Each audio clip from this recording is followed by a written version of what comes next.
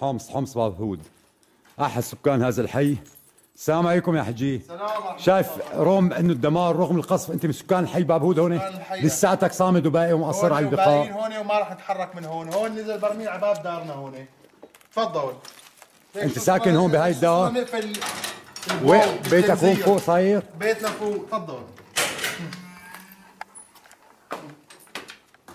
ما تاكل بواب ذنوب لا تاكل شيء ذنوب هون عند جيراننا. يعني رغم هالقصف والدمار ما خفان على حالك شيخ يا نايمين هون بإذن الله وصامدين بإذن الله.